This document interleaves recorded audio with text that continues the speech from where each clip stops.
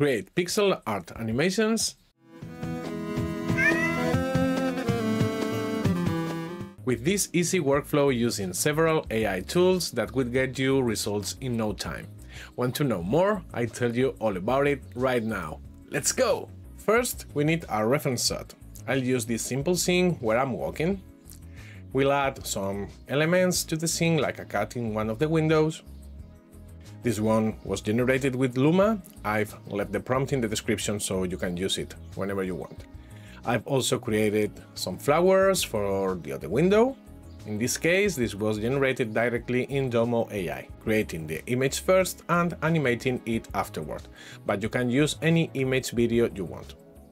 Since these elements are almost static, it's best to use videos where the shot doesn't move at all. Cool, now we're turning them into a super cool pixel art style. How? With Domo AI. If you need the access link, it's in the description. And now, once inside, we'll use their video to video converter. So upload the corresponding video, choose the pixel art style and the right direction based on the clip we're going to generate. Keep the aspect ratio on auto and generate the clips. Wait a few minutes and here they are.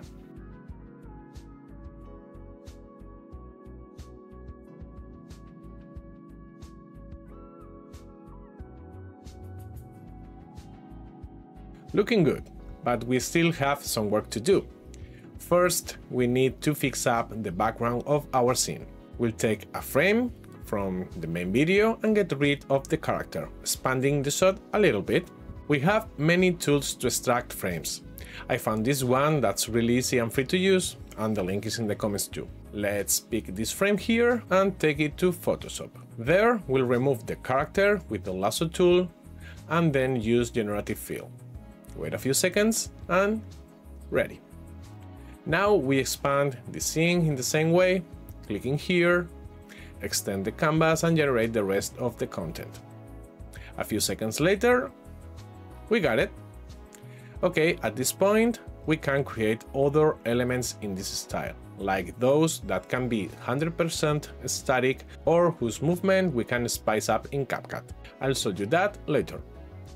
But for now, I've created this super simple beach ball that will add a dynamic touch to the scene.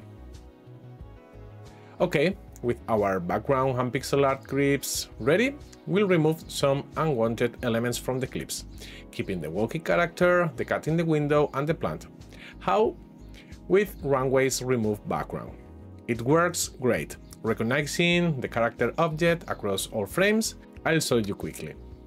Go into Runway, the link's in the description, select Remove Background and upload the corresponding video. Pick the points representing what we want to keep. Depending on the image complexity, you may need to define more or less points, also add erasing points. So let's fine tune. Done. Now we can generate the mask. A few seconds later, we have our protagonist and a green chroma background that will be great for the final clip edit. We do the same with the rest of clips and head to CapCut.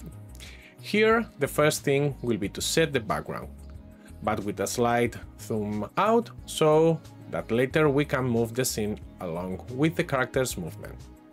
Add the rest of the elements and, once in the scene, use remove background from our reference color, which will be the green, of course.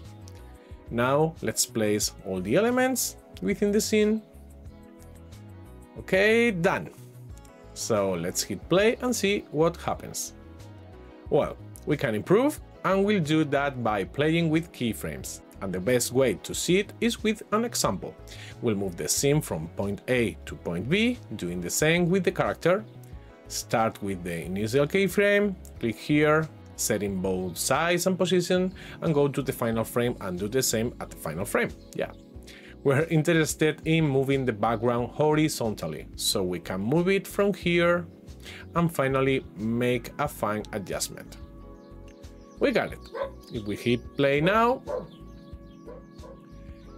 now you know how keyframes work, so it's time to replicate this work with the rest of the scene elements. I've included music generated with Udio. I've also left the prompt in the description so don't miss it, and I've created some sound elements with Eleven Labs too. And that's it. Let's see how it turned out.